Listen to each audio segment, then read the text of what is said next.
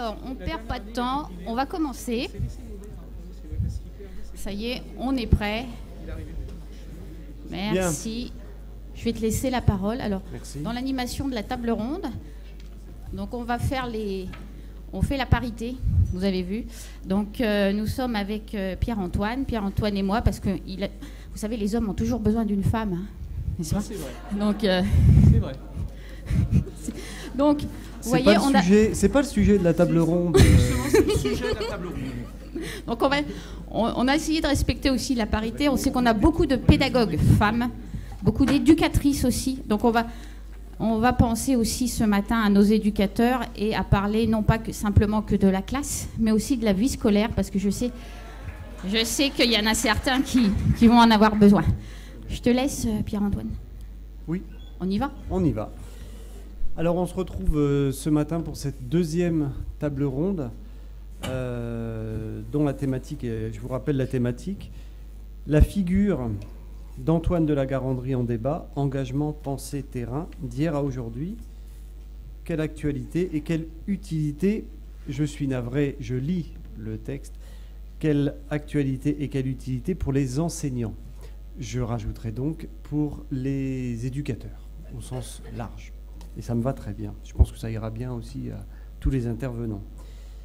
Euh, alors, cette euh, table ronde, on l'a pensée autour de trois axes, euh, qui sont les suivants. on va d'abord s'intéresser à comment les différents participants à cette table ronde en sont arrivés à Antoine de la Garandrie. On va voir aussi comment est-ce que Antoine de la Garandrie influencent euh, leurs pratiques euh, professionnelles, leurs recherches, etc. aujourd'hui. Et puis, euh, dans un troisième temps, qu'on fera peut-être après la pause, on verra selon le, timing, de se questionner sur bah, Antoine de la Garandrie pour, parmi vous, les futurs enseignants, futurs éducateurs, les étudiants en licence, en master, euh, qui pourrait euh, se dire bah, Antoine de la Garandrie, euh, hier d'accord, mais demain Est-ce que, est-ce que moi j'ai encore. Alors, c'est un peu provocateur, mais est-ce qu'il y a encore une utilité pour moi à étudier Antoine de la Garandrie aujourd'hui? Alors, on répondra aussi à ça. Alors, vous pensez bien que nous, on a une réponse forcément positive. voilà, mais on, on pourra. Enfin, je, je m'avance peut-être, mais on en discutera. Voilà. Euh, et puis le message, oui, que je voulais simplement transmettre avant de, commencer, vraiment, n'hésitez pas à intervenir parce que euh, le titre le dit, hein, Antoine de la Garandrie, c'est une figure euh, très importante, essentielle de la pédagogie. pour autant, il y en a peut-être parmi vous qui découvrent ce matin Antoine de la Garandrie ou qui en ont entendu un petit peu parler, mais pas plus que ça et qui donc vont peut-être entendre des choses et vont avoir besoin d'éclaircissement. Vraiment, surtout, n'hésitez pas à prendre la parole, euh, à demander euh, des explications complémentaires. Euh, c'est, à mon avis, très important. Voilà. Alors maintenant que le cadre est posé, eh est-ce qu'on on va débuter? Alors, est-ce qu'il y en a un ou une d'entre vous qui veut commencer? En nous, en nous disant, voilà, votre rencontre avec soit Antoine de la Garandrie, euh, la personne, ou ses idées, sa pédagogie. Voilà, comment vous en êtes venu à lui, ou comment lui est venu à vous. Hein, je vous laisse euh, discuter. Alors, priorité, oui. Oui, oui c'est une très bonne euh, réaction masculine que j'approuve. priorité aux femmes, mesdames. Mesdames. Voilà. À vous de parler, mesdames. Alors, je vous laisse la parole. C'est ça? Hélène? Donc, euh, comment euh, j'ai pu rencontrer Antoine de la Garandrie Je dois dire que en écoutant hier euh, tout ce qui s'est dit, que aussi vos, exprimer vos besoins, je me suis dit que moi j'avais une bonne fée qui est pédagogique qui était qui s'est penchée sur mon berceau parce que j'ai toujours été intéressée par que se passe-t-il mentalement euh, Comment peut-on utiliser notre intelligence euh, Je me suis toujours positionnée être chercheur avec l'élève et j'ai eu la chance euh, de, toujours travailler dans des lieux où on était en recherche. Donc ça, c'était quand même passionnant. Et euh, évidemment, quand euh, lors de ma licence en sciences de l'éducation à Angers, j'ai rencontré la garanterie, ah, pour moi, ça a été vraiment, voilà, le, maître, avec tout ce qu'il y a de positif en parlant de maître, euh, qui va justement me permettre de donner des outils aux élèves. Parce que pour lui, vraiment, il est convaincu que chaque élève a les moyens de sa réussite. Alors après, bien sûr, euh, euh, il faut connaître ses travaux et peut-être le mettre à disposition des élèves, euh, mais ça a été quand même une grande chance. Ensuite, l'ISP a permis à un certain nombre, Marie-Françoise Chenet, Christine Rossignol et d'autres, de pendant euh, deux ans euh, pouvoir avoir à disposition Antoine de la Garandrie et faire des expériences pour former euh, les, enseignants au niveau de tous les travaux, les faire connaître. Ça, c'était vraiment, on a eu beaucoup de chance parce qu'un jour, M. Fury m'a demandé de bon, euh, vous semblez très intéressé, c'est important qu'on on puisse euh, vraiment former des personnes pour rendre euh, praticiens en gestion mentale. Donc ça, je, je suis quand même le. J'ai vécu tout ce qu'on a évoqué hier, de faire des liens, de se mettre en situation de recherche. En plus, euh, j'ai eu la chance, euh, en enseignant à l'école alsacienne, d'avoir un statut spécial puisque euh, j'avais euh, des, des charges horaires, j'étais enseignant-chercheur et voilà, toute la dynamique euh, pour pouvoir découvrir les travaux de la garanterie, mais tout à l'heure, je vous parlerai de essentiellement ce que ça peut apporter. Bon bonjour à tous. Euh, Je prends donc la suite et j'ai vraiment envie de vous dire que la recherche d'Antoine de la Garandrie a été pour moi une belle lumière. J'ai travaillé personnellement tant en démarche humaine, euh, psychopédagogique, et j'étais très en recherche sur la personnalité de l'élève et ses difficultés. J'ai beaucoup travaillé avec des adolescents et des adolescents en difficulté. Et je me suis beaucoup questionnée en voyant ces élèves dans la cour de récréation, dans d'autres activités, manuelles, artistiques ou autres, qui étaient euh, très pétillants, pleins de joie, de créativité. Et de se rendre compte que ces élèves-là, qui étaient en difficulté, pouvaient avoir vraiment des points forts et vivaient très mal la classe avec ben, des résultats difficiles.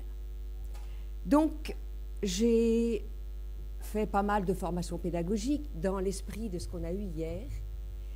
Et donc, quand j'ai rencontré Antoine de la Garandrie, ça a vraiment été un éclairage, je lui dois beaucoup, car là, on a des clés, il me semble qu'elles dépassent les années précédentes et qu'elles sont toujours d'actualité, sur la différence selon les êtres. Il y a, tout le monde est intelligent, il y a plusieurs formes d'intelligence, et que très souvent, et ça c'est l'originalité d'Antoine, c'est que il y a ce que je disais à mes élèves, il y a l'intelligence et son mode d'emploi. Et tant qu'on n'a pas trouvé son mode d'emploi personnel, eh bien on galère. Et là, il y a des clés simples qui paraissent simples en soi, mais qui sont essentielles. Et quel que soit le temps, comment est-ce que je deviens conscient de non seulement mes facultés, mais comment je prends l'information et comment je l'intériorise? Et si les informations ne sont pas intériorisées d'une manière efficace dans ma tête, eh bien, je galère et j'ai beaucoup de difficultés, je perds confiance et du coup, bah, je travaille plus, bien sûr. Et qu'est-ce que je fais en classe? Ben, Je m'ennuie. Donc j'essaie de rigoler, de distraire, d'embêter les autres et d'embêter aussi l'enseignant. Donc derrière les travaux d'Antoine, c'est s'ouvrir à la découverte de soi-même et en même temps à la découverte des autres dans leur respect, leur originalité et leur complémentarité. On reviendra sur des choses très pratiques plus tard si vous le souhaitez, mais c'est toute une dynamique qui m'a énormément portée et merci Antoine.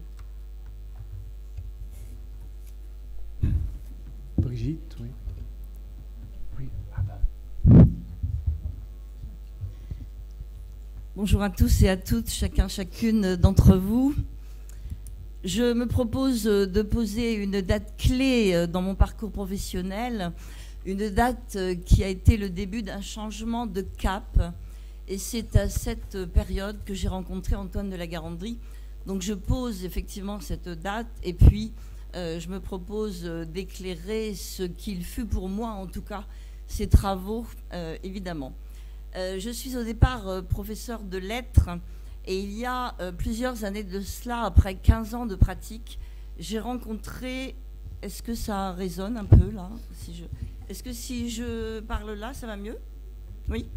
Euh, j'ai rencontré une situation euh, dans ma pratique professionnelle qui a changé le cours euh, de mon parcours, pour le coup.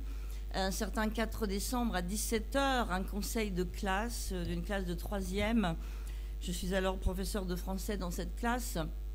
Et à un moment donné, euh, dans ce conseil, je suis en train de dire Thibault pourrait avoir 13 ou 14 de moyenne à son trimestre, mais il a 8. Cette phrase, j'ai dû la prononcer en 15 ans de pratique, des centaines de fois avec mes collègues ou avec des parents, c'est-à-dire euh, ce fossé entre le potentiel et euh, la réalisation de ce potentiel, avec le mot gâchis au centre de tout cela. Or, ce jour-là, je ne supporte pas de la prononcer, c'est-à-dire la première phrase qui me vient. Alors, si Thibault, mais il pourrait avoir un autre prénom, si Thibault euh, ne montre pas dans ses résultats qui il est, alors ma part à moi, ma part de co-responsabilité avec mes collègues aussi, est-ce que j'ai bien tout posé en termes de pédagogie pour qu'ils puissent recevoir cela et pouvoir en faire quelque chose? Et là, cette question-là, pour moi, était assez insupportable, avec beaucoup de culpabilité derrière euh, à ce moment. Pour faire bref, euh, ce que je ne supportais pas dans la réflexion, c'était en gros euh, Mozart qui n'aurait pas donné d'œuvre.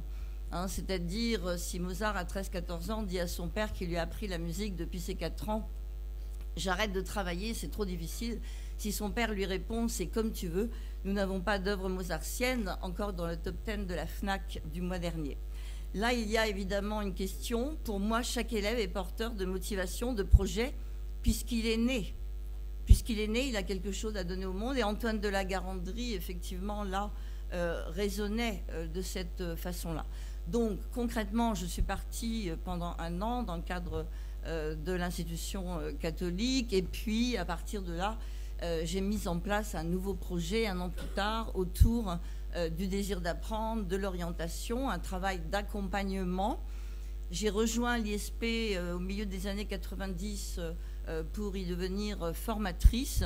Et aujourd'hui, j'ai rejoint effectivement récemment l'ISP Faculté d'éducation euh, euh, auprès des licences euh, sciences de l'éducation. Alors Antoine de la Garandrie, dans ce parcours-là, que m'a-t-il apporté? Il m'a apporté un élan il a ouvert le champ de la conscience cognitive. C'est-à-dire, euh, Max n'apprend pas comme Bastien, n'apprend pas comme Mélodie. Et il s'agit que Max sache ce qui lui permet d'apprendre, ce qu'il peut évoquer en lui pour évidemment euh, avancer. Et puis, euh, il y a quelque chose de fondateur euh, pour moi euh, dans la démarche d'Antoine de la Garandrie. Euh, L'air de rien, euh, ses recherches partent d'une question comment apprennent les élèves qui réussissent? Il part de là dans ses recherches pour apporter quelque chose aux élèves qui ont du mal à réussir. Alors euh, aussi dans mon parcours, les travaux d'Antoine de la Garandrie, ceux de Carl Rogers et ceux d'Edgar Morin, pour moi, sont indissociables euh, dans ce sens-là.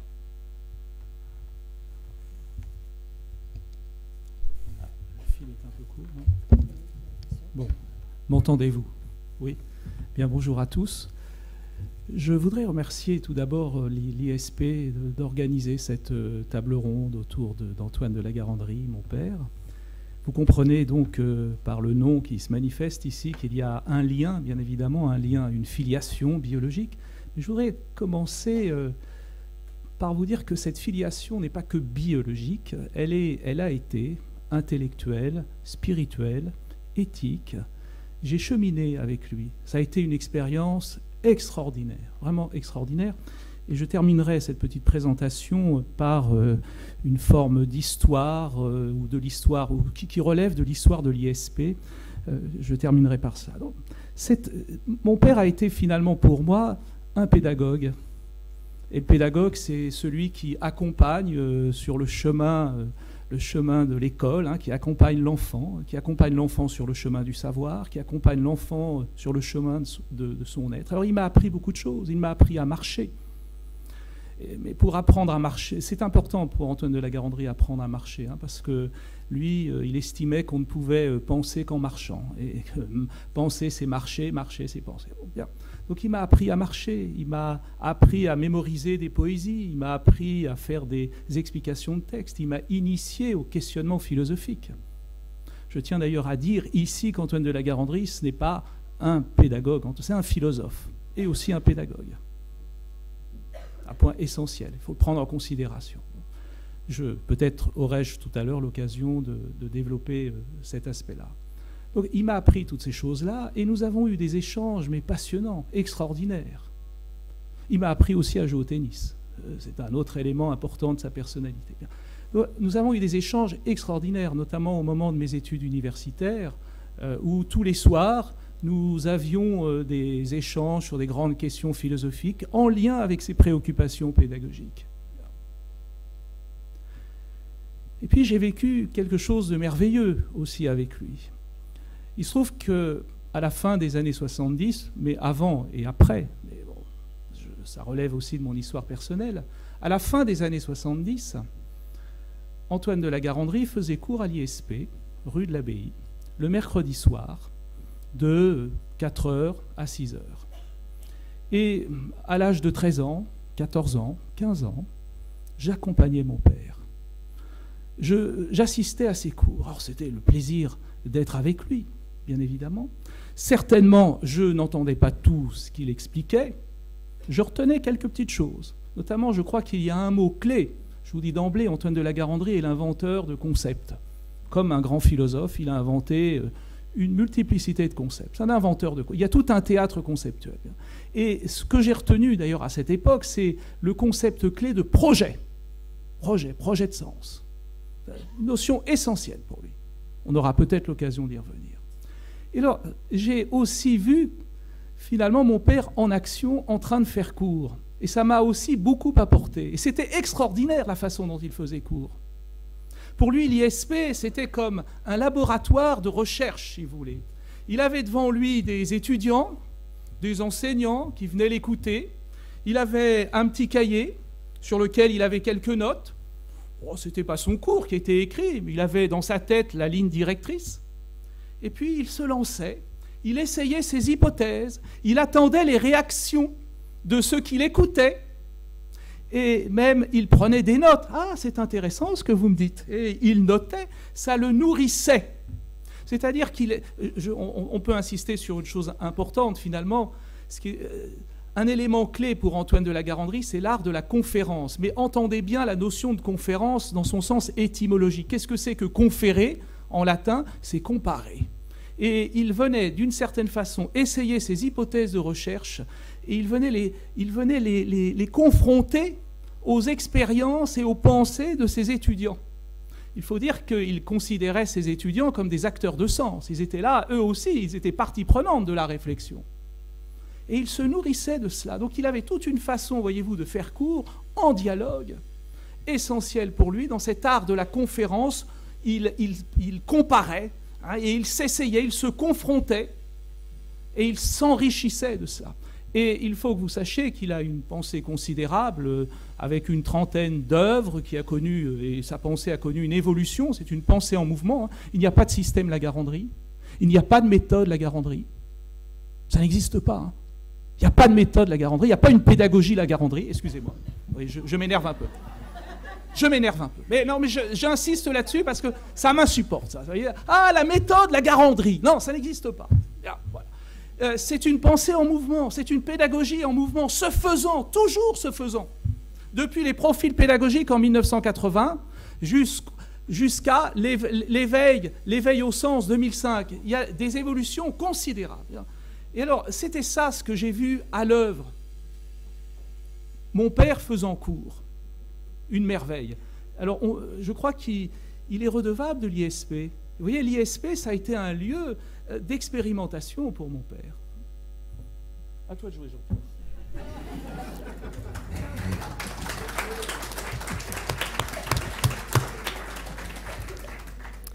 Comme vous avez pu le remarquer, il y a un air de famille. Bon, en ce qui me concerne, euh, ça fait tout juste 30 ans que j'ai rencontré Antoine de la Garandrie en 1987, très exactement. Euh, l'année où j'ai été recruté euh, à l'Université catholique de l'Ouest, à Angers, dans un institut qui s'appelait Institut des sciences de l'éducation d'Angers, et qui est devenu faculté d'éducation, comme c'est le cas, je crois, euh, à l'ISP. Et là, Antoine de la Garandrie dirigeait, co-dirigeait, avec un, collègue qui s'appelait Guy Le le doctorat en sciences d'éducation. Il se trouve que moi j'arrivais euh, du terrain, j'étais psychologue, psychologue scolaire. Euh, j'avais donc un petit peu d'expérience dans ce domaine-là et euh, j'ai été engagé sans thèse, à l'époque c'était possible, à, la Cato d'Angers. Mais évidemment il a fallu que je m'y mette et c'est en m'engageant dans cette thèse de doctorat que j'ai rencontré Antoine de la Garandrie, que je ne connaissais pas du tout en fait. Hein on ne avait jamais parlé, ni dans mes études de, psychologie, euh, qui se sont pourtant déroulées à la Cato d'Angers, euh, même dans mon contexte professionnel euh, des années 80. Hein. Donc j'ai découvert effectivement ce personnage, son charisme, hein. on, le, sentait à travers le, propos de, Thierry aussi alors, euh, il se trouve que je m'intéressais euh, à l'apprentissage, et plus particulièrement à l'apprentissage de la lecture. Et j'étais très marqué par euh, l'approche expérimentale, vous voyez, la psychologie expérimentale. et il y avait un auteur que j'avais beaucoup lu et qui avait également beaucoup marqué ma pensée, c'était Piaget. Alors j'ai eu un peu de mal au début. Euh, et en fait, avec le recul, je, me, peux dire que c'est Antoine de la Garandrie qui m'a permis de, euh, en fait, d'accoucher entre guillemets de ma problématique de thèse. Hein. Euh, parce que bon, moi, j'avais envie de traiter de l'apprentissage d'un point de vue piagétien, en, utilisant donc les concepts de Piaget. Je trouve qu'à l'époque, il y avait une, une chercheur qui s'appelle euh, Emilia Ferrero qui, avait travaillé euh, tout particulièrement cette question. Et euh, voilà. Et, de la Garandrie m'a complètement décalé par rapport. Alors, ça ne veut pas dire que j'ai renoncé à Piaget, mais il m'a, fait prendre conscience qu'il n'y avait pas, en fait, de, de, de, de, perspective pédagogique suffisante, je vais le dire comme ça, en prenant un point de vue piagétien sur l'apprentissage. Alors évidemment, euh, il m'a emmené un peu sur son terrain, hein, euh, sans m'y forcer d'ailleurs. Jamais je me suis jamais senti euh, obligé. Mais bon, j'ai découvert, euh, j'ai ses, travaux, j'ai découvert euh, son approche, et j'ai effectivement découvert que il y avait euh, chez lui euh, cette possibilité d'analyser très finement euh, ce qui se joue hein, dans, l'apprentissage, dans le, rapport à la connaissance, dans le, rapport à, l'objet de connaissance. Euh, Mon objet, c'était l'écrit. Comment l'enfant entre en intelligence dans le rapport avec l'écrit. Certes, on pouvait s'appuyer sur Piaget, sur des tas d'auteurs pour, en parler, mais euh, j'ai j'ai senti chez de la Garandrie possibilité d'aller très finement et très profondément dans l'analyse, je dirais, a posteriori, euh, phénoménologique, en fait, hein, de, ce, rapport à, l'objet de connaissance. D'une part. Et d'autre part, ce qui n'était quand même pas négligeable dans le cadre d'une euh, thèse de sciences d'éducation, une euh, perspective, un horizon praxéologique assez riche, puisque à, partir de cette analyse, on pouvait évidemment aider les élèves à apprendre, leur donner des moyens, des outils, comme vous avez dit, hein, euh, leur éviter donc euh, de, s'installer dans l'échec. Euh, et puis, on pouvait aussi travailler au niveau des enseignants, leur expliquer ce que c'est qu'apprendre et qu'est-ce que l'on mobilise pour apprendre, comme gestes mentaux, notamment. hein. qu'est-ce qu'on fait dans sa tête quand on lit, quand on cherche à comprendre le sens de ce qui est écrit, etc. Donc j'ai découvert là un- des, horizons praxéologiques très, très intéressants. Et puis bah, j'ai cheminé, et euh, donc je dirais que Antoine de la Garandrie m'a euh, accompagné dans cette thèse. Mon directeur officiel était euh, Guy Avanzini à l'université Lyon 2. D'ailleurs, à l'époque, euh, Antoine Garandrie était directeur de recherche à Lyon 2. hein. Il avait été d'ailleurs euh, installé euh, dans cette université, si je puis dire, par Euh, Guy Avanzini lui-même. Euh, années 80, je ne sais pas s'il enseignait toujours à l'ISP, peut-être. Oui, d'accord. Et donc il avait ce, ce- ce- tout- tout- toutes ces, ces- euh, toutes ces- tous ces ancrages-là, hein, l'ISP, la Cato d'Angers, euh, l'Université Lyon 2. euh, et bon, euh, bon, donc il m'a aidé à, bien sûr à, avancer dans ma thèse et, à, la, réaliser. Euh, et puis ben, j'ai continué à travailler sur son créneau. Euh, alors je dirais, mais sans doute que je m'en expliquerai plus longuement par la suite, que fondamentalement, ce qui m'intéresse dans la pensée d'Antoine de la Guérandrie, c'est sa pluridimensionnalité.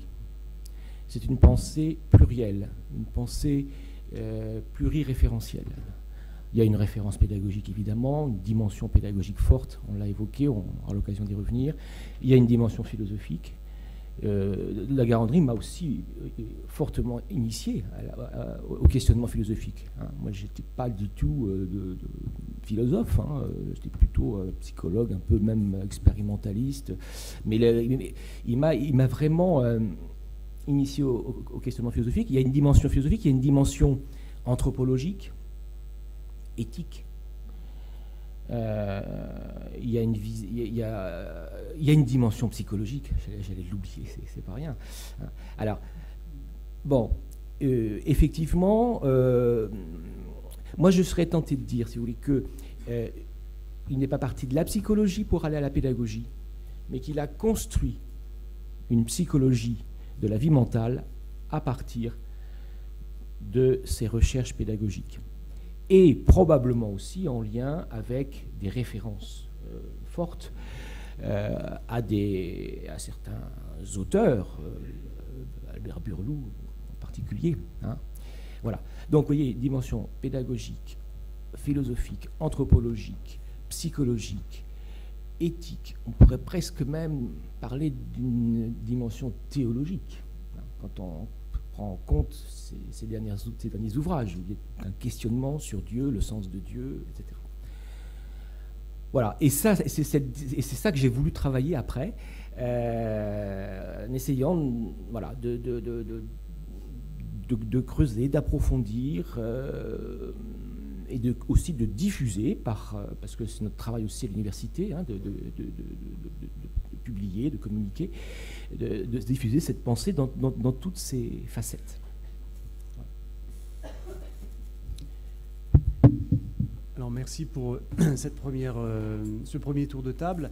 Euh, je regarde mes collègues, mais quand je vois l'heure et si on veut respecter le timing, je pense qu'on va enchaîner sur la pause maintenant pour respecter le timing. Et donc, euh, on se retrouve dans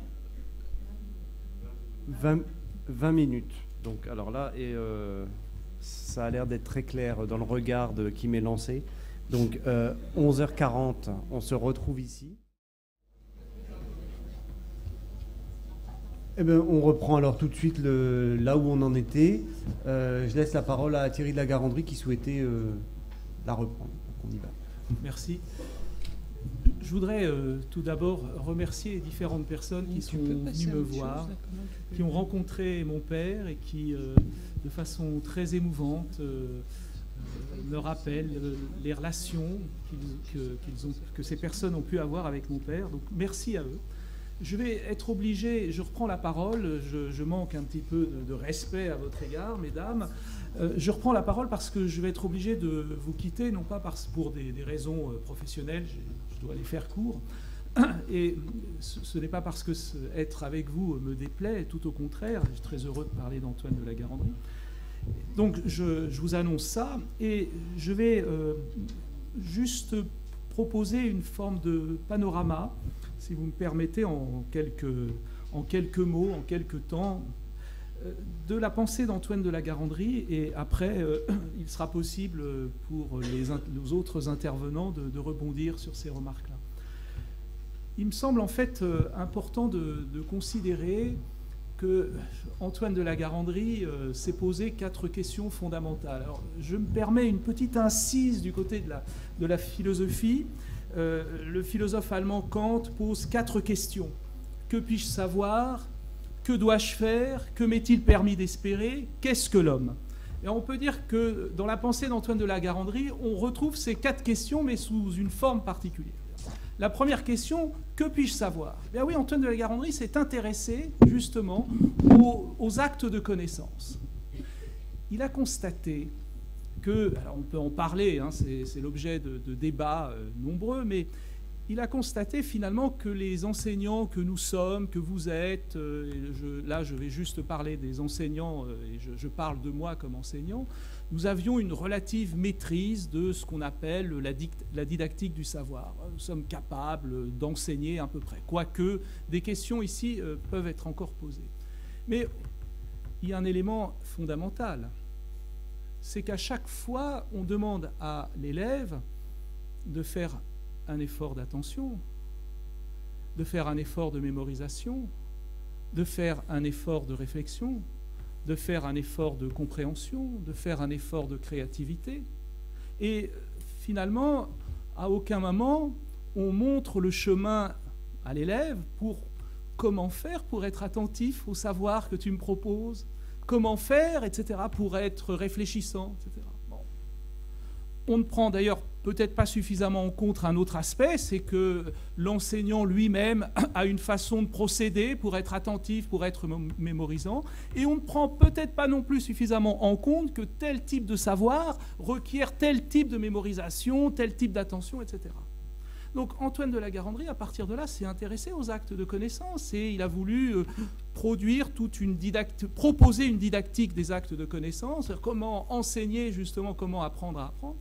Et pour cela, eh il a fallu qu'il se livre à euh, des analyses euh, de type peut-être psychologie cognitive, peut-être euh, de, euh, moi j'appellerais ça aussi de phénoménologie sur le, fonctionnement finalement de ces actes de connaissance.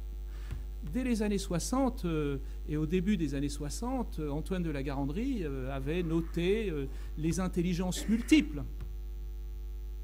On retrouve dans ses cahiers, euh, 19 début des années 60, toute une réflexion sur différents types d'intelligence.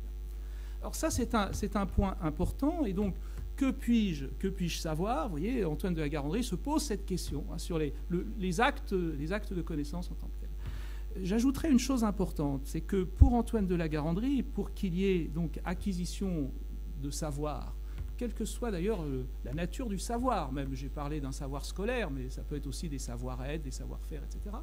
Et il faut qu'il y ait acte de connaissance. Et j'ajouterai un point essentiel, c'est que pour qu'il y ait acte de connaissance, il faut qu'il y ait projet de sens. Alors peut-être euh, aurez-vous l'occasion de revenir sur ces éléments-là. Deuxième champ important dans la pensée d'Antoine de la Garandrie, c'est non pas le champ moral, parce qu'Antoine de la Garandrie se méfiait, voyez-vous, euh, de perspectives trop moralisantes. Le bien et le mal. Ah, ça c'est bien, non, ça c'est mal. Antoine de la Garandrie, voyez-vous, pensait qu'il n'y avait pas de péché originel euh, euh, au niveau de la connaissance et qu'il fallait arrêter d'accabler l'élève qui n'aurait pas su bien réciter, bien mémoriser, bien réfléchi, bien compris. Il fallait peut-être partir de l'élève lui-même, de ses intentions de sens, etc.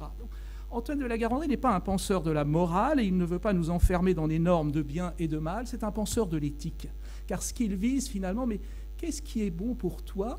Qu'est- Qu'est-ce qui va permettre finalement à ton être d'être quelque chose de plus? Et, et l'éthique, voyez-vous, ce n'est pas le bien et le mal, c'est le bon et le mauvais. Sachant que ce n'est pas n'importe quel bon ou n'importe quel mauvais, ce ne, sont pas, il s'agit de conduire l'élève vers des plaisirs, des plaisirs d'axe, ce n'est pas n'importe quel type de plaisir, pas des plaisirs premiers, des satisfactions premières. Ça, demande toute une ascèse, indéniablement, pour aller vers des, plaisirs de connaissance qui sont sources de plaisir d'être, où l'élève a le sentiment d'un accroissement de son être. Parce que l'élève, pourquoi a-t-il un sentiment d'accroissement de son être? Parce que l'élève parvient à composer des rapports d'adéquation avec le savoir, parce que l'élève parvient à composer des rapports d'adéquation avec les autres élèves, parce que l'élève parvient à composer des rapports d'adéquation avec l'enseignant. Et cette question éthique, permettre à, l'enfant d'être quelque chose de plus, hein, ne concerne d'ailleurs pas que l'enfant, mais concerne aussi l'élève, euh, le- l'enseignant, excusez-moi. Pour l'enseignant aussi, c'est important comment être quelque chose de plus dans la façon dont j'enseigne, comment composer des rapports d'adéquation avec le savoir. Ça, c'est pas toujours évident, justement. Comment composer des rapports d'adéquation avec les élèves?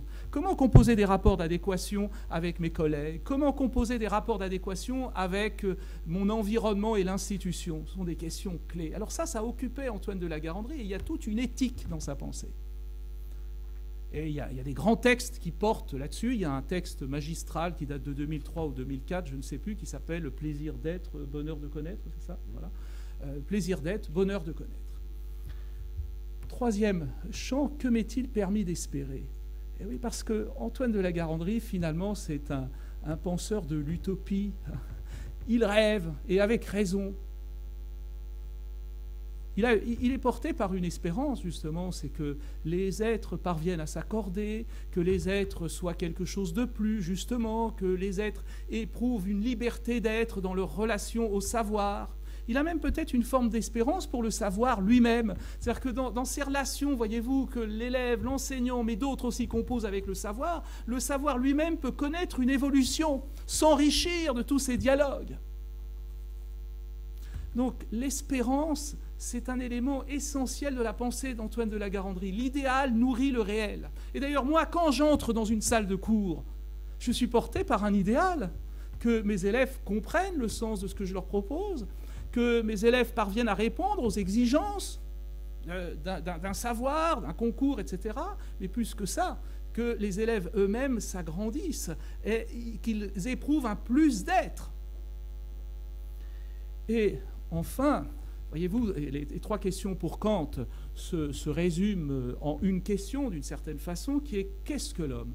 Bien oui, dans l'œuvre d'Antoine de la Garandrie, il y a une anthropologie.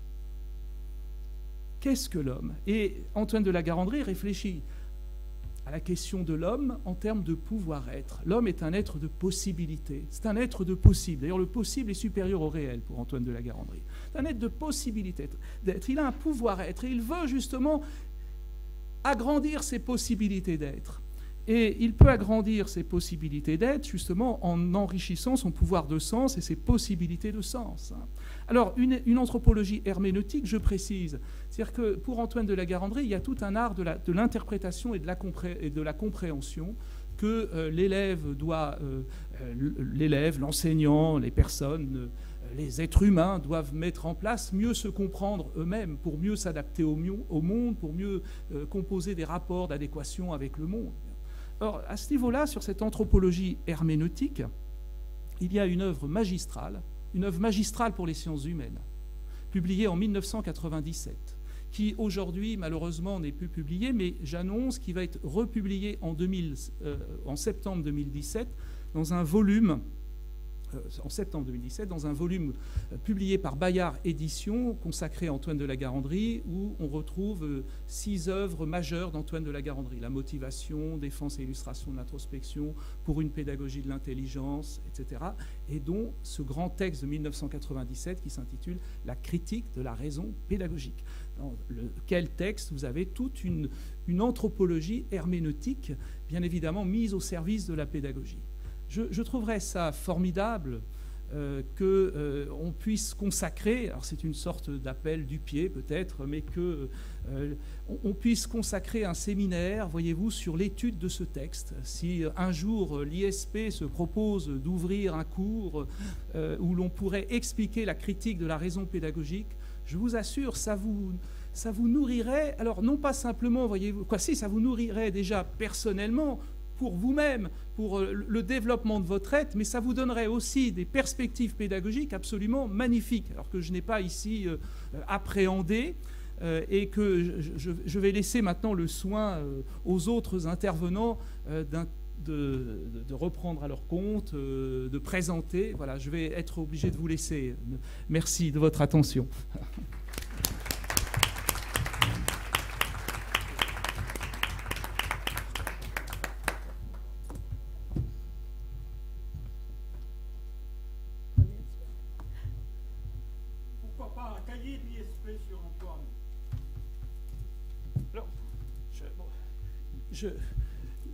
pourquoi pas un cahier de l'ISP sur Antoine? Excellent. Merci, monsieur Moine. Euh, il y a sinon un, petit texte qui s'intitule La pensée d'Antoine de la Garandrie, lecture plurielle, euh, publié à la Chronique sociale, qui est aussi un, moyen euh, d'entrer en relation avec la pensée d'Antoine de la Garandrie. Mais oui, vous avez raison, pourquoi pas un cahier de l'ISP sur Antoine? Merci, monsieur Moine.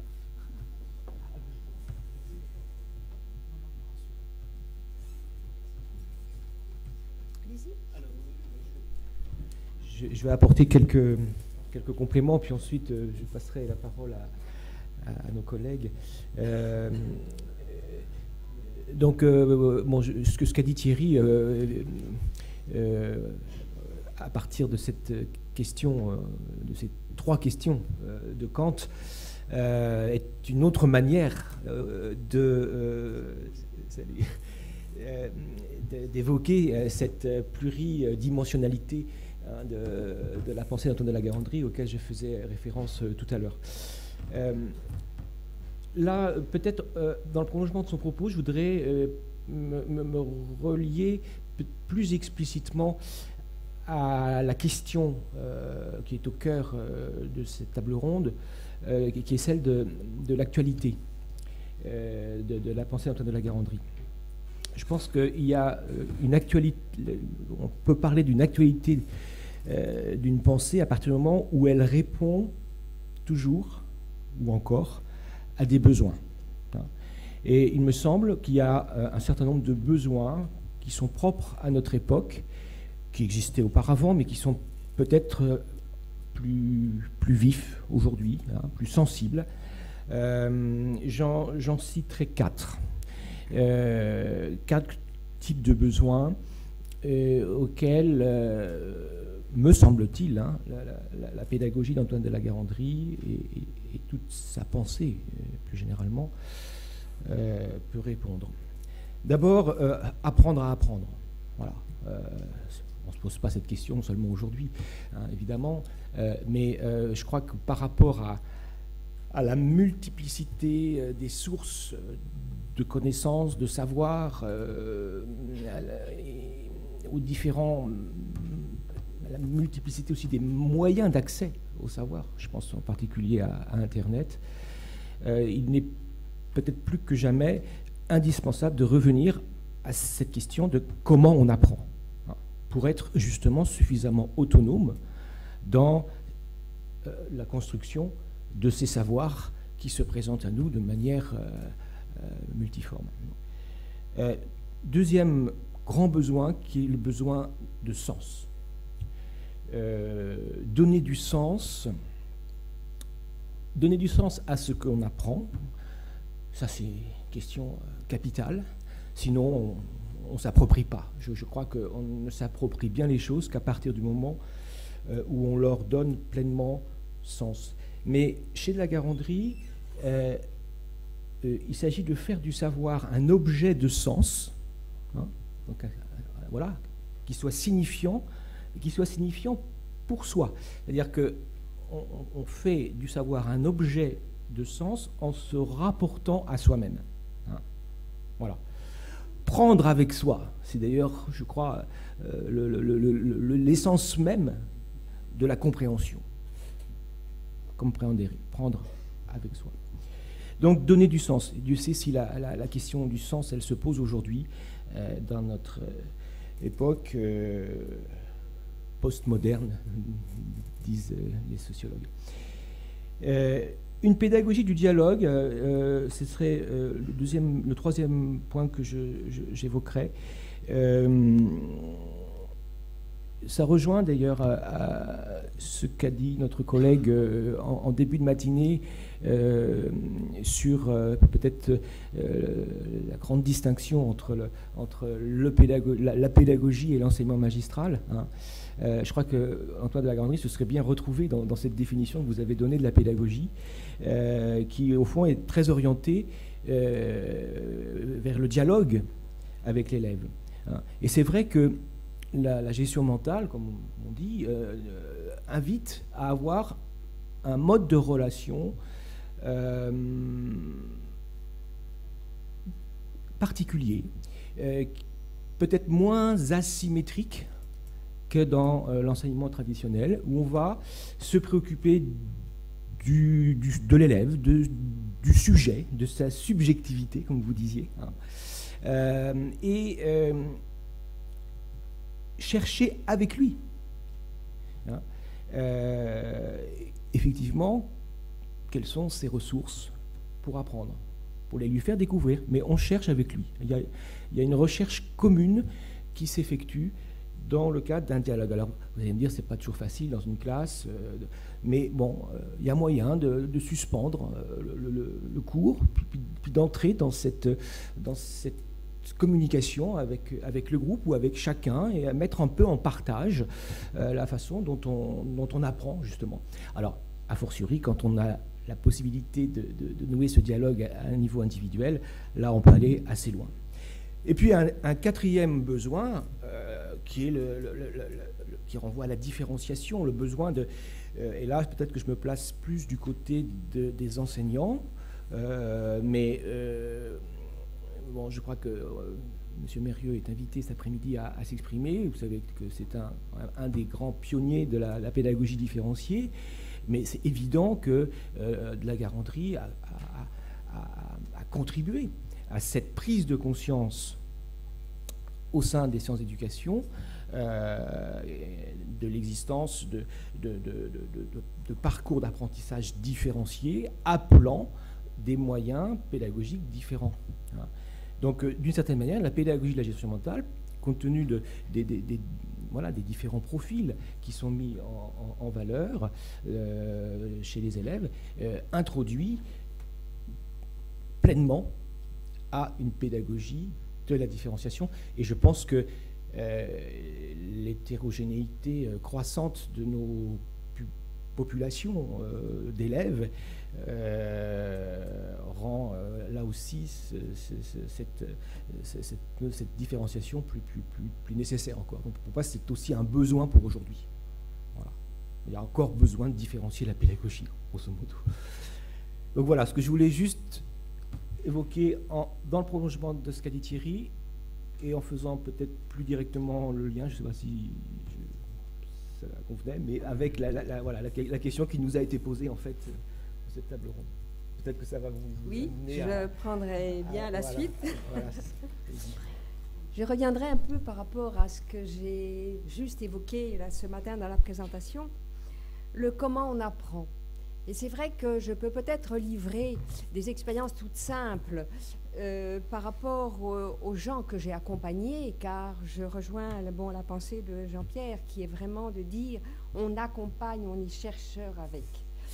Euh, ce que euh, la, pensée de la, de garanderie et aussi ce que je vais être amenée à dire n'est pas réservé seulement aux enseignants.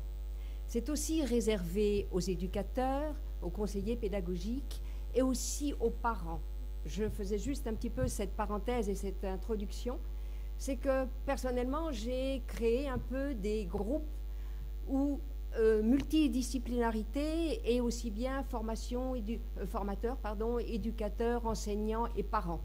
Et j'ai trouvé une véritable richesse et c'est pour ça que pour moi, il y a vraiment actualité de la pensée d'Antoine de la Garandrie parce que euh, on se retrouve avec des tas d'exemples, d'ailleurs que j'avais un petit peu glissé dans mon livre, car euh, il y en a qui comprennent mieux avec des exemples, d'autres plus avec des, des explications. Mais on peut trouver des tas de situations où on va se rendre compte que la mère qui accompagne ses enfants le soir pour les travails du soir peut galérer, si je puis me permettre, ben, d'accompagner, d'incompréhension. On a en effet un mode de savoir et est-ce qu'on l'a vraiment analysé? Est-ce qu'on en a pris conscience? Est-ce qu'on l'a décortiqué? Eh bien, ce n'est pas toujours évident, même en 2017. Ça veut donc dire que, pour moi, une des premières, euh, et je rejoindrai ce que vous disiez, première chose qui m'a alertée et que j'ai essayé de mettre en pratique, c'est cette prise de conscience de comment on apprend et peut-être qu'on ne s'est jamais posé la question. Donc, il m'est arrivé dans mes groupes, y compris des groupes d'élèves et dans des classes, de, en début d'année, pourquoi pas susciter, mais il n'est jamais trop tard, ça peut être aussi des moments dans l'année, de- des moments où on pose la question, on donne quelques infos sur ces recherches nouvelles, sur cette recherche de la personne en tant que telle, et on se dit, on amène les apprenants en disant, ben, est-ce que vous savez, etc. Et puis on questionne et on cherche ensemble, et peut-être qu'ils se sont jamais posé la question, ils sont dans le registre qu'ils sont bons en dissert, bons en mécanique, doués, pas doués, et on fait avec, avec souvent toutes les souffrances qui s'en suivent. Et combien de fois je suis partie de leur, de ce qu'ils aimaient faire en dehors de l'école, et de voir comment est-ce qu'ils s'y prenaient. Donc ça, Antoine de la Garandrie le faisait beaucoup, c'est de prendre une citation, prendre un exemple avec un temps de silence, et puis on essaie de faire revenir en mémoire, et on va décrire le comment. Non pas le savoir en tant que tel, mais qu'est-ce qui me vient dans la tête.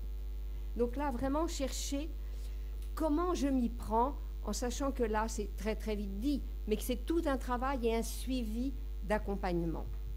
Pour cela, il y a le travail comme ça, c'est pas bon.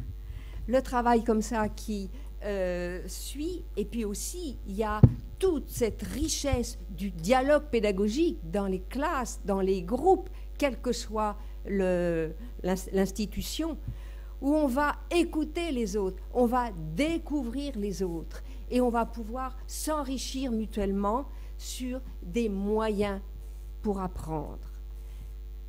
Alors, besoin de sens, quelle est la mise en projet qui m'habite La mise en projet, non seulement la mise en projet dans ma classe, mais la mise en projet profonde. Et on se rend compte, moi, dans des accompagnements aussi bien individuels, d'avoir euh, rencontré, d'avoir accompagné des élèves où je leur demandais euh, sur quoi ils étaient prêts à s'investir. Alors, il y en a pour qui c'est la grande souffrance. Je me souviens très très bien de certains élèves qui préféraient devenir encore meilleurs dans la discipline dans laquelle ils étaient déjà bons et de découvrir que durant ces intelligences multiples, comment ils s'y prennent dans tel et tel domaine où ben, ils sont performants, mais ce n'est pas toujours considéré à l'école, y compris dans la créativité. Alors, par rapport à cet accompagnement, j'insisterai sur le N plus 1. Le N plus 1, pour moi, que je dois à Vygotsky, c'est fractionner la difficulté. Et que pour passer à l'étape au-dessus, l'élève est prêt à se mobiliser. Et souvent, quand on délivre un enseignement, on va peut-être délivrer l'overdose pour certains. Et à partir du moment où on fractionne et qu'on amène ce que Antoine de la Garandrie appelle, mais peut-être nos, nos collègues vont en développer davantage, des temps de silence où on va permettre des évocations fractionnées, c'est-à-dire comment j'intériorise dans ma tête tel et tel élément, et que je fais partager, que je fais communiquer les élèves. Parce qu'on disait hier, ben, euh, oui, oui, j'ai compris, mais qu'est-ce que j'ai compris? Qu'est-ce que je suis capable de redire, d'appliquer? Ça, ça n'a rien d'évident. Et on reste souvent dans ce vocabulaire. Oui, j'ai compris. On est tout content qu'on soit parent, qu'on soit éducateur, qu'on soit enseignant. Il a compris, ça y est, on passe. Mais dans la réalisation après. Mais pourtant, j'avais compris. Comment ça se fait que j'y arrive pas On n'a pas mis au clair, on n'a pas décortiqué. Et un des points de la pédagogie d'Antoine de la, Garandrie, pardon, c'est de rentrer dans le détail, dans les finesses de la pensée, car c'est bien dans le détail qu'on va avoir des grains de sable, et c'est là où on va retrouver la spécificité de chacun dans leur mode de fonctionnement. Donc le dialogue est vraiment quelque chose qui fait qu'on va pouvoir s'enrichir, voir la différence des autres. Donc cette pédagogie de la différenciation, de l'enrichissement mutuel me paraît très important. Et peut-être un tout petit mot avant de repasser la parole, c'est que je vais revenir sur ce que j'appelais évocation fractionnée.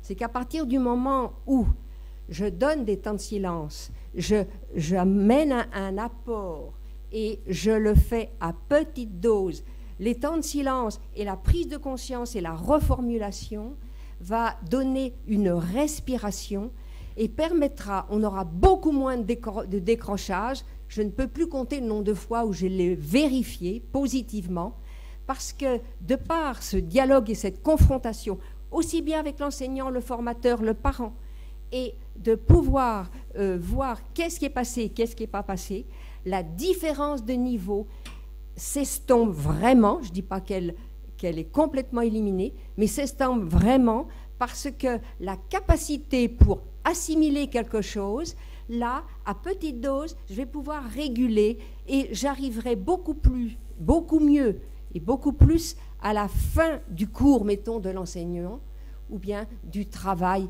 que nous partageons ensemble.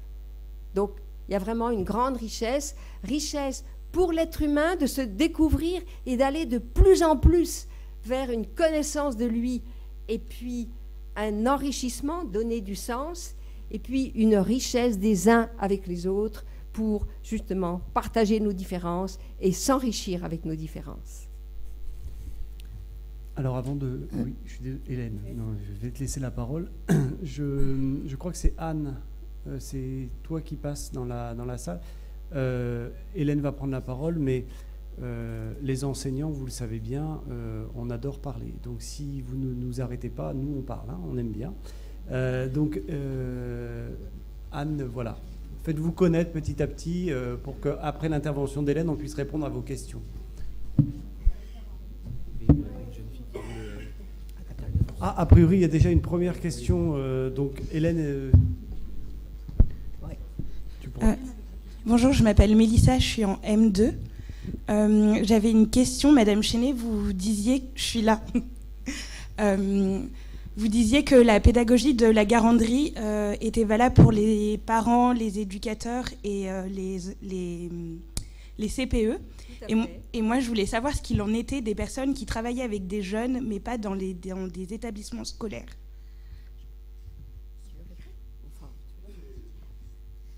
Alors, je peux dire deux mots et je passe la, euh, la, la, parole.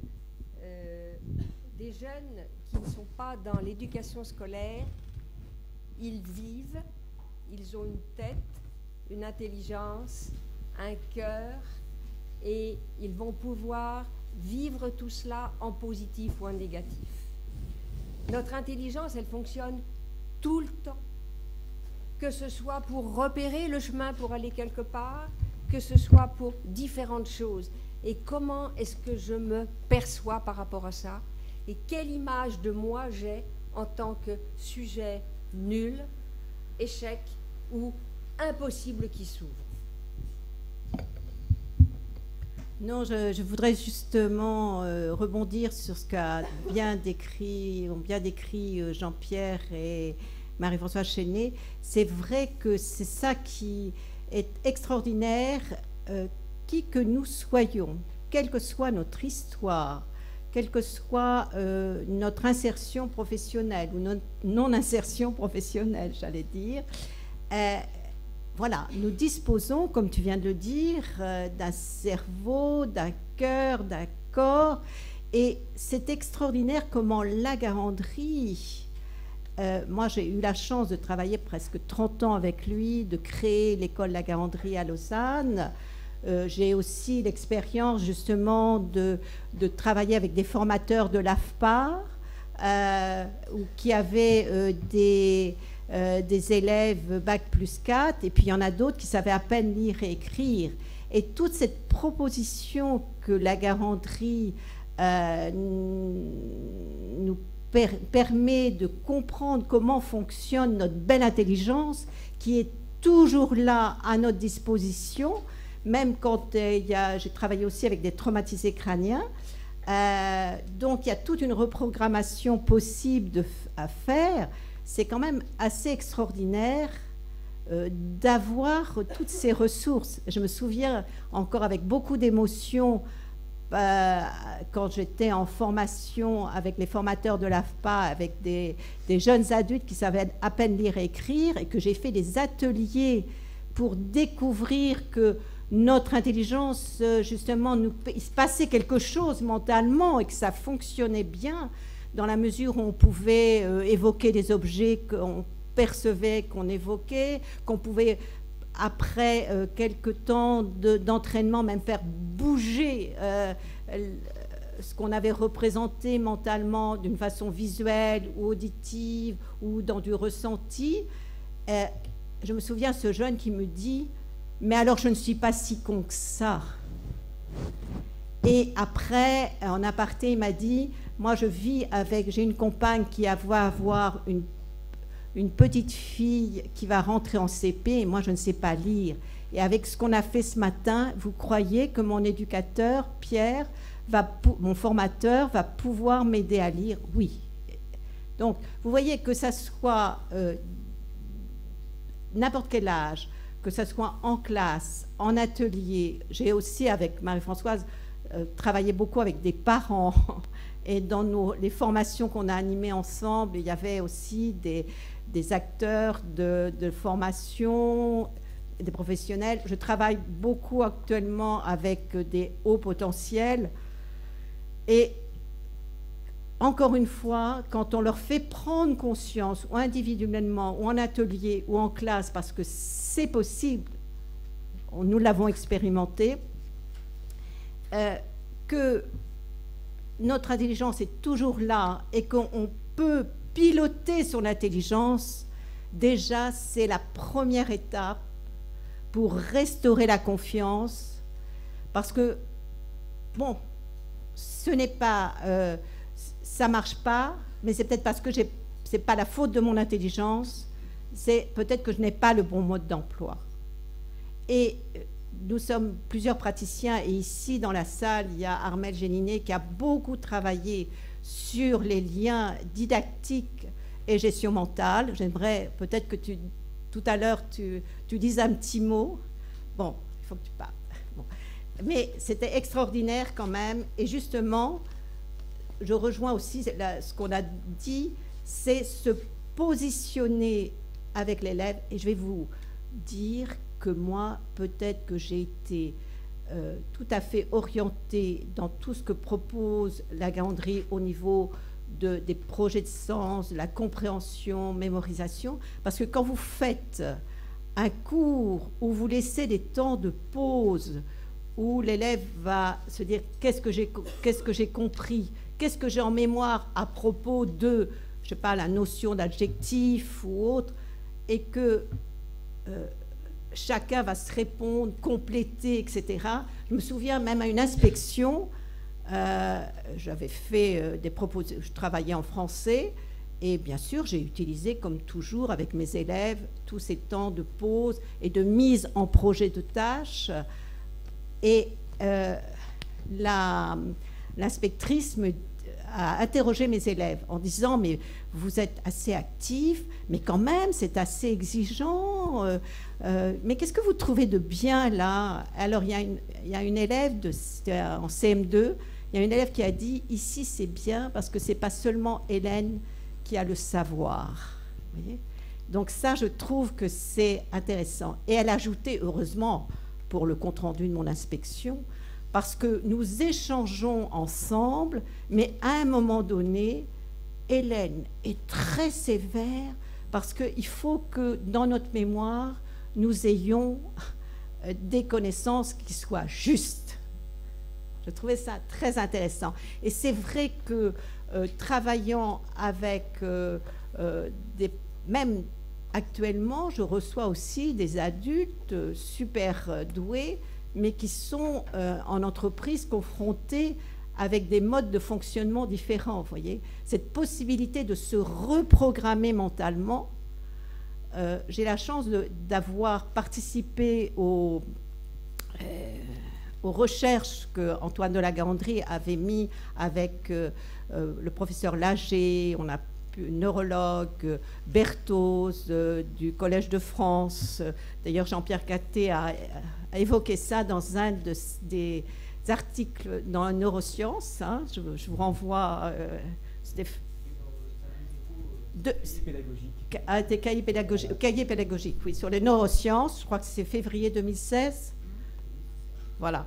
Et euh, donc tous ces liens, et moi-même, je continue à euh, travailler avec euh, le professeur Vèvre-Douré, euh, qui est neuropsychologue à, à l'hôpital Necker et qui est chercheur à l'INSERM. Et là, nous avons la possibilité de reprogrammer mentalement des personnes. Donc je trouve que c'est intéressant. On a même, grâce à l'imagerie fonctionnelle, euh, on a pu observer que des zones avant et après mes sollicitations, il y a des zones du cerveau qui ont été sollicitées. Et actuellement, on a le professeur Houdet euh, qui travaille beaucoup sur l'inhibition. Peut-être vous avez... euh, voilà. Donc, quand il raconte ce qui se passe, puisqu'on a des illustrations qu'on n'avait pas au moment où on pouvait faire ses travaux avec Antoine de la Garandrie, euh, quoique avec euh, le professeur Lager, on a pu observer que mentalement, quand on est en projet, on a l'onde P300 qui, qui act- s'active. C'est quand même intéressant que la Garandrie, dans les années où on n'avait pas d'imagerie fonctionnelle, a pu justement recueillir au niveau du dialogue pédagogique, euh, grâce à l'introspection, c'est-à-dire voilà, mettre l'élève en situation de tâche, et puis, alors là, si tu laisses revenir en mémoire, qu'est-ce qui se passe? Observe, décrit, et d'un seul coup, on peut aussi les entraîner à passer à un autre codage mental, repérer leur propre mode prioritaire. Donc je trouve que c'est quand même important. Et ça, c'est possible grâce au dialogue pédagogique, en classe, en individuel, euh, dans tous les groupes. Voilà. Donc ça, c'est se réconcilier avec son intelligence, d'avoir les moyens de se réconcilier avec son intelligence. Quelle chance nous avons d'avoir eu des éclairages aussi puissants. Voilà.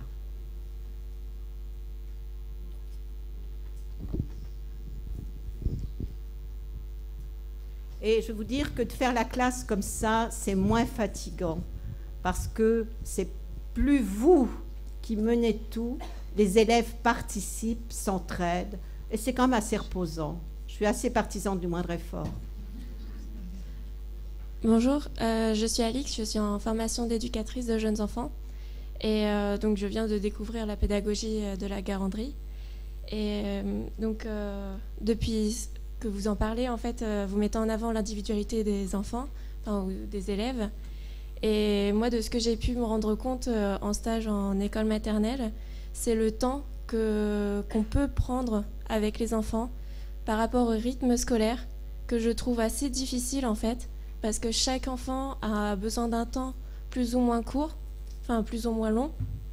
Et, euh, et avec toutes les attentes qu'on demande aux enfants qui soient plus ou moins au même euh, niveau, je trouve ça très compliqué. Alors, vous parlez à l'instant des, des, temps de pause. J'ai du mal à voir si ça peut être en lien ou pas. Mais voilà, c'est un questionnement qui, depuis tout à l'heure, j'y pense, au niveau du temps qu'on peut prendre avec chaque enfant. Alors, un, on peut faire collectivement. Et quand on dit des temps de pause, c'est-à-dire, c'est très très court, mais vous faites une proposition, vous faites par exemple découvrir une notion. Euh, j'ai travaillé avec euh, des enseignants de maternelle euh, et il n'y avait pas un temps pour le contenu, un temps individuel, un temps de pause. C'est par exemple, je, vais vous donner peut-être une illustration qui répondra à votre question, c'est que à la fin de la, avec des jeunes enfants en maternelle, euh, à la fin de la matinée, on leur disait déjà, alors là, vous allez faire la sieste, vous allez, vous, allez manger, après vous allez faire la sieste, là, prenez un petit temps de musique. Puis vous, vous imaginez sortir de la sieste, et là, il va y avoir l'atelier. Voilà, donc ils savaient déjà ce qu'on allait faire. Et quand la personne proposait l'atelier, en le proposant, elle donnait toujours un temps. Donc on va, on va regarder l'objet qu'on va construire ensemble. OK. Alors comment on va s'y prendre? Première étape, elle disait la consigne et l'enfant imaginait réaliser la consigne, vous voyez? Si bien que, après qu'elle ait donné la consigne, tout de suite, euh, elle disait, bon alors là, vous vous imaginez, première étape, vous faites quoi? Les enfants cherchaient dans leur euh, mémoire et redonnaient les choses. Voilà. Ça peut être aussi comment on va s'y prendre, comment. Enfin, vous voyez, c'est la gestion mentale, c'est pas déconnecter du contenu et euh, c'est un peu difficile en quelques minutes de dire, mais. Oui. Vous avez juste, je signale juste un, site. J'interviendrai après. Un site internet, euh, je pense qu'il doit toujours être actif. C'est le site Connaissance. Oui. C'est, vous devez connaître ça. Ouais, c'est bien. Et parce que, l'expérience que vous venez d'évoquer là, ça me renvoie aussi à, au moins à une expérience en maternelle qui, est, qui est présentée sur ce site et qui montre euh, qu'il est tout à fait possible de s'inspirer euh, des travaux de la garantie. Alors pas pour faire évidemment des dialogues pédagogiques très approfondis avec des enfants, de, très jeunes enfants, mais, mais, mais, mais, dans la relation, comme vous l'avez dit, dans la relation qu'on a avec eux, effectivement. respecter Moi, j'ai vraiment expérimenté des dialogues pédagogiques à tout niveau de classe, dans, tous, les, dans tous les milieux. Euh, alors après, il y a vraiment des élèves qui ont peut-être besoin de faire des ateliers ou d'être pris en charge individuellement. Et puis, je ne voudrais quand même pas euh, euh, exclure que pour que ça soit juste, il faut quand même avoir aussi peut-être d'autres outils que pour faire vivre euh, tout ce que nous apporte la garanderie. On a peut-être besoin aussi d'apprendre à, à, formuler, mener un dialogue, etc. Aussi déjà repérer dans quelle atmosphère de sens euh, euh, évolue le, jeune enfant.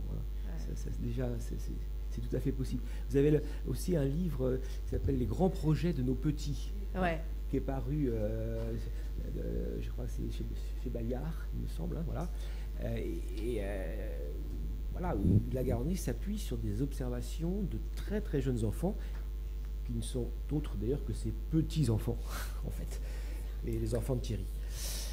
Et qui montrent très bien euh, dans, voilà, comment chacun euh, euh, entre en, relation avec le monde, alors soit par, des images ou, par des, sons, ou par le mouvement, enfin, vous voyez, hein, ce, ce qui conceptualise après sous, le terme d'atmosphère, de, sens.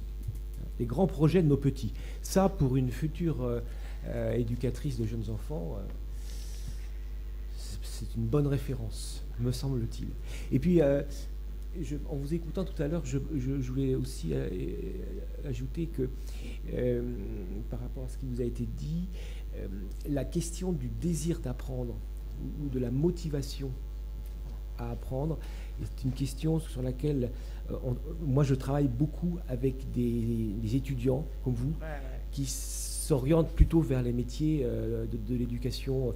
On a un master euh, responsable vie scolaire aussi à la Cato et j'assure un, enseignement en deuxième année et je parle de, la gestion mentale et j'observe que il me ramène à la question de la motivation, et c'est pas étonnant, parce que vous êtes, enfin, les, éducateurs, les, les, responsables vie scolaire sont confrontés, les enseignants aussi, bien sûr, hein, euh, mais euh, à, cette question de, du désir. Comment éveiller le désir d'apprendre? Et ça passe par une réconciliation avec soi-même, ça, je ne vais pas redire tout ce qu'Hélène a dit, euh, et toute une remise en confiance. donc, ça peut aussi intéresser les, les éducateurs au sens large. Et dans mon livre, il y a des exemples de dialogue pédagogique. Est-ce que ça veut dire que la gestion mentale, elle peut être utilisée aussi dans le jeu, dans des loisirs ou Pas tellement parce qu'en vous écoutant, Madame Catrou, vous disiez euh, euh, que dans les ateliers pour les primaires, euh, dire les consignes et leur faire leur laisser un temps de réflexion pour pouvoir pour qu'ils puissent se les approprier et après retransmettre ce qu'ils ont compris. Ça faisait partie de la gestion mentale, donc on peut faire la même chose dans des grands jeux. Partout, partout, partout, c'est utile à tout âge. D'accord. Merci. on peut optimiser son intelligence. En lien avec tout ce que vous dites, et effectivement, tout ça est tout à fait euh, en lien avec les travaux hein, d'Antoine de la Garandrie. La plasticité du cerveau, il en avait parlé, les neurosciences euh, nous ont éclairé là-dessus, l'ont confirmé. Vous avez parlé des intelligences multiples aussi euh, tout à l'heure. On pourrait ajouter l'intelligence émotionnelle aussi, tout ce qui est venu enrichir aussi hein, les travaux d'Antoine de la Garandrie. Donc je me propose de mettre en avant, il y a une première diapo avant. Oui, voilà de mettre en avant, et je le propose en trois minutes, certains besoins que je repère comme prioritaires dans cette génération Z, appelée également Millennium, tous ces élèves apprenants nés après 97. Et je me propose de tricoter à la fois leurs besoins d'aujourd'hui et les travaux d'Antoine de la Garandrie avec le côté extrêmement vivant de ces travaux-là. Son fils l'a dit tout à l'heure, et chacun d'entre vous, tout à l'heure, a bien parlé euh, de cette vivance, hein, de cette vie, de cette vivance, effectivement. Donc, l'apprenant acteur de ces apprentissages avec les autres, j'insiste là-dessus pour cette génération interconnectée qui a besoin de plus en plus de formés collectifs.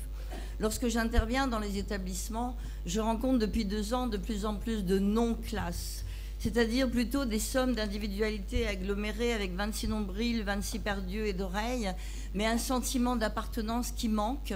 Et effectivement, il y a là à former collectif d'abord pour après poser la différenciation pédagogique et la personnalisation des apprentissages. Du coup, là, en 2017, il y a bien à tenir les deux, former collectif et personnaliser, car si l'élève s'enferme dans un individualisme, il ne peut accéder à ce que Philippe Mérieux appelle le métier d'élève, l'habiter ce métier d'élève.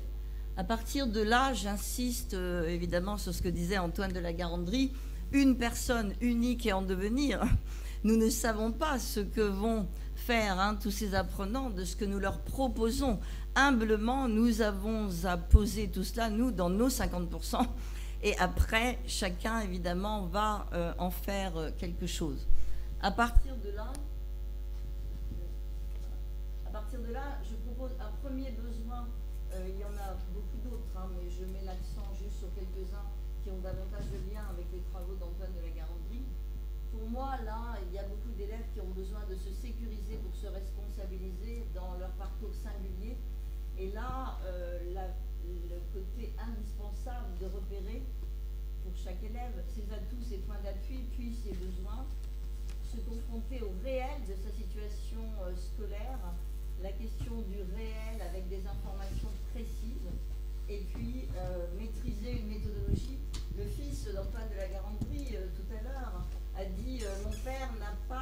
de méthode. Hein, ça ça résonne un peu, c'est ça, pardon, a dit Mon père n'a pas posé de méthode. Je ne veux pas hein, qu'il soit dit que mon père pose une méthode. Et effectivement, pour moi, là, la méthodologie, j'ai mis entre parenthèses, étymologiquement, c'est le chemin, la voie. Du coup, ça dépasse le côté méthode. Et j'adhère à ce qu'il disait tout à l'heure. Euh, tout le travail d'Antoine de la Garantie est en évolution. Évidemment, ce n'est pas quelque chose de figé et de normé une fois pour toutes. Le besoin pour aussi ces élèves-là de poser des actes pour développer leurs compétences. Et euh, ça se relie du verbe relier à la conscience de soi, à la connaissance de soi et la confiance en soi, dont vous avez parlé tout à l'heure les uns les autres, hein, avec d'autres termes. En vert, en bas, je reprends les propos d'Antoine de la Garandrie dans certains de ses ouvrages, strictement. Je ne les ai pas mis entre guillemets, mais en vert, du coup, c'est pareil pour moi. Prendre conscience de ses évocations et itinéraires mentaux dans une tâche et en appliquer d'autres pour dépasser ses difficultés et progresser.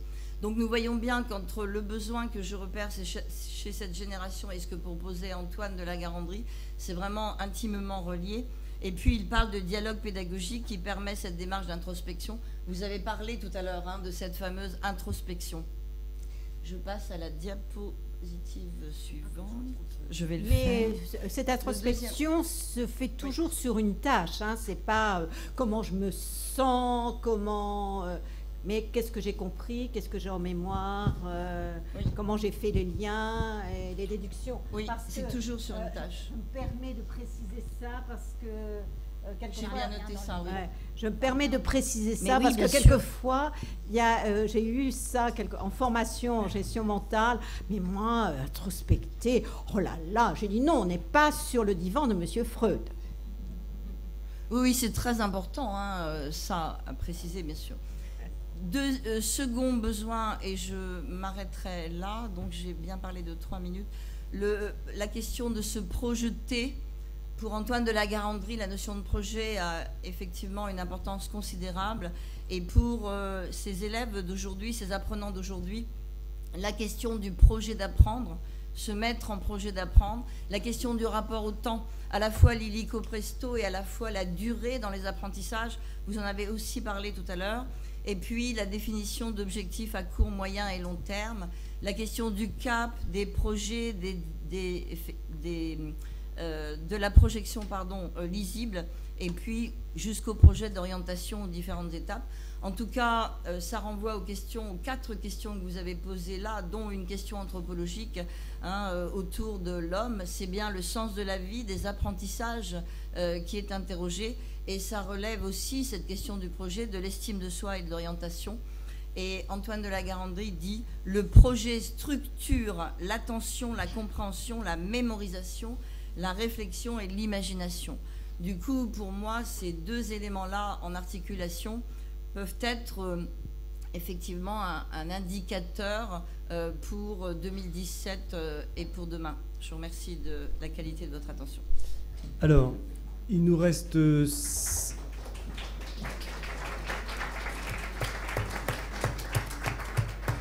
Il nous reste quelques minutes euh, avant la pause à moins 10, donc on a encore le temps de prendre une ou deux questions. Euh, alors, il y, a une là-bas et une ici. Oui, euh, ça n'est pas une question et ça sera très bref, si vous permettez. Pour la personne qui a parlé du jeu chez l'enfant, euh, je ne sais pas, je ne l'ai pas vu, mais je voilà, je l'ai entendu. Je suis, moi, persuadée, excusez-moi, j'ai été formatrice en gestion mentale longtemps, Yolande Moine. Euh, je suis persuadée qu'un enfant, quand il joue, il met en marche toutes ses capacités, toutes ses facultés, et que euh, les facultés de gestion mentale, il les utilise spontanément et à bon escient. Donc, ce qui serait important, me semble-t-il, c'est de transférer dans les apprentissages exactement le même comportement mental que, dans le jeu, enfin, ou les comportements mentaux. Et puis, je voudrais dire aussi à la personne, euh, la jeune femme là, qui a parlé de, des petits-enfants à l'école maternelle, euh, pour avoir euh, observé la chose, je sais que beaucoup d'enfants savent faire des images dans leur tête, quand ils sont, j'allais dire, d'une gestion plutôt auditive ou au départ auditive, mais ils ne savent pas l'utiliser euh, dans les tâches d'apprentissage. Et pour les petits-enfants, moi, je, dit simplement, euh, est-ce que ce qu'on a fait tout à l'heure, ce que vous avez fait, ce que tu as fait, est-ce que vous pouvez le revoir dans leur tête? Parce que c'est comme ça qu'ils apprendront à revoir aussi les connaissances et à compléter leur gestion auditive. Quant aux parents, justement, ils ne savent pas la plupart du temps euh, qu'il faut apprendre aux enfants, quels qu'ils soient, à faire des images dans leur tête. Et dernière chose, si vous le permettez, la question de codage mémoriel dans les paramètres, dans plusieurs paramètres, parce que j'ai vu tellement d'enfants ou d'adolescents en troisième coder dans un seul paramètre et ne, ça débordait de partout, ne pouvant pas retenir parce qu'il n'y arrivait plus, il y avait trop de choses à coder. Euh, je sais bien qu'on n'a pas parlé de ça, mais euh, beaucoup de gens ici savent ce que c'est. Euh, coder de plusieurs manières les choses qu'on met en mémoire pour les comprendre et les retrouver ensuite. Merci, excusez-moi d'avoir été plus longue que je n'aurais dû. Alors, on avait aussi à droite, hein, je crois, euh, la dame à droite. Bonjour Liliane, je fais un master cadre de l'éducation, un master 2. Euh, en fait, je vous écoute, je suis en poste dans un collège et euh, je rencontre des élèves effectivement en difficulté d'apprendre et je rencontre des professeurs et je me dis mais qu'en est-il? Alors j'ai entendu vos parcours qui sont des parcours individuels, mais qu'en est-il de la formation des professeurs qui se retrouvent finalement en situation de difficulté face à des enfants qui parfois ont des facilités et puis un certain nombre de difficultés et qui se retrouvent eux aussi en situation de difficulté pour le coup aussi. Qu'en est-il par rapport au statut du professeur où le professeur a un statut dans la classe, celui qui sait et qui doit transmettre et qui du coup euh, a parfois énormément de mal à changer de statut, à sortir de ce statut-là? Au niveau. Alors, assez rapidement, peut-être, hein, parce que. Oui, ça va? Assez rapidement parce que là, euh, notre cerveau a aussi besoin de se nourrir, et pas qu'intellectuellement. Donc, assez rapidement sur quelques éléments de réponse. Quelques éléments de réponse, si j'ai bien compris la question. Euh, vous savez que depuis euh, la mise en place des, nouveaux masters hein, pour les enseignants, il y a quand même une importance qui est donnée à la pédagogie, hein, euh, en tout cas dans, bon, dans le premier degré et même dans le second degré. Euh, bon, j'ai un peu de pratique au niveau en termes d'enseignement hein, par rapport à ces masters, et je peux vous dire qu'on essaie quand même euh, de pas être, enfin, de donner aux futurs professeurs des écoles ou aux futurs professeurs de collège, lycée, c'est bien d'eux dont vous parlez. Hein, euh, voilà, euh, des, outils euh, pour aussi, je dirais, permettre à leurs élèves d'apprendre, de, de, donner sens au savoir scolaire, etc. Vous voyez, on n'est pas que dans le disciplinaire. Je ne sais pas si je réponds, parce que vous êtes, vous êtes entré par la question de la formation des enseignants. Vous êtes que, que voilà.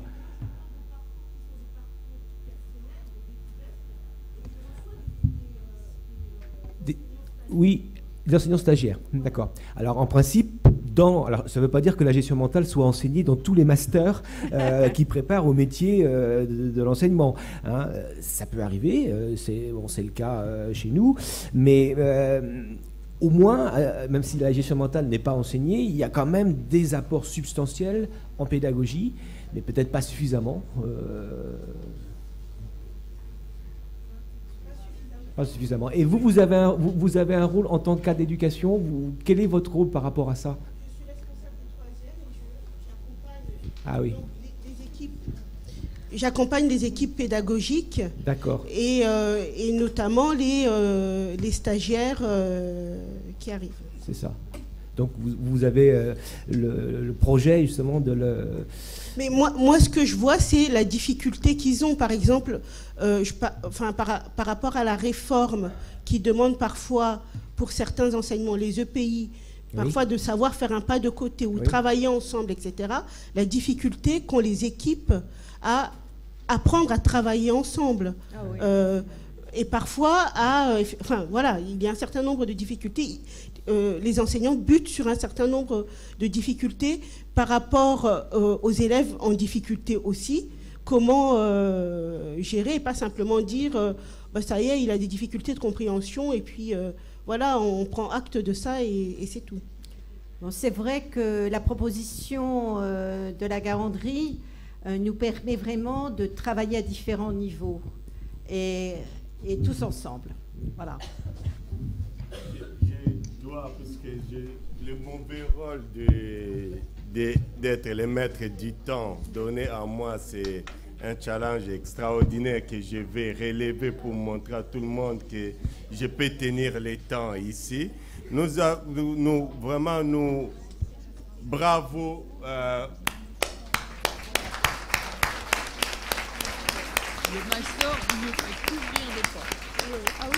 nous avons là déjà une, à, quoi sert la pédagogie? Il y a un étudiant de Master 1, puisque moi j'ai toujours les oreilles, les antennes partout, qui dit est-ce qu'on a déjà répondu, est-ce qu'on a déjà commencé à monter quelque chose de l'ordre de l'ICP et, donc là, c'est une des de, de réponses, même si on ne va pas directement à la réponse, mais d'une manière, on est déjà en train de répondre pour nous euh, qu'est-ce que c'est euh, une, pédagogie? Donc, euh, avec Antoine de la Garanderie, elle nous donne déjà une, une, probable réponse. Mais nous aurons d'autres réponses tout à l'heure. Et je tiens vraiment, ce sont des personnes, si vous les avez écoutées, ce sont des personnes passionnées. Vraiment des personnes passionnées. On espère que vous serez des éducateurs, des cadres d'éducation, des, des, enseignants euh, passionnés comme eux. Donc nous allons aller passionnément manger, c'est pour revenir euh, à l'heure, essayer de respecter comme on a fait jusque-là, de tenir les temps pédagogiques. En fait, merci.